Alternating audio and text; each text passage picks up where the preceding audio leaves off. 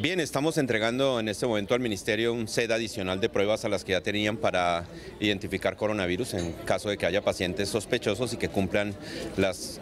características definidas en la, descripción de caso sospechoso. Entonces con esto el país pues, va a tener